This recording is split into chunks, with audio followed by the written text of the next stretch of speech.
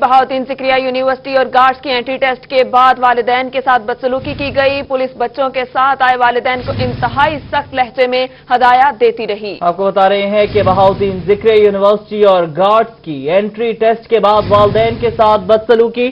Police بچوں کے ساتھ آئے والدین کو انتہائی سخت لہجے میں ہدایات دیتی رہی۔ ہے مناظر بھی روحی کی اسکرین پر ہیں، جس میں دیکھا جا سکتا ہے کہ پولیس اہلکار وردی میں ملبوس ہیں۔ کا گارڈ کھڑے ہوئے ہیں گالی گلوچ کیا جا رہا تھا اور والدین کے ساتھ بدسلوکی کی جا رہی تھی۔ آئیے آپ کو سنواتے ہیں۔ ہیں؟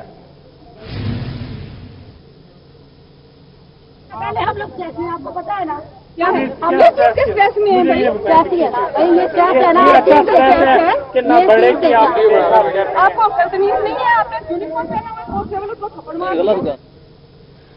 یہ براہ یہ مناظر بھی آپ نے دیکھے، روہی کی اسکرین پر پولیس کا ناروا سلوک، گارڈز بھی کوئی کردار ادا نہیں کر رہے۔ علیشبہ سے بات کر لیتے ہیں۔ علیشبہ سیکیورٹی کے تو بہت اچھے انتظامات تھے۔ یہ کیا ہو گیا پھر؟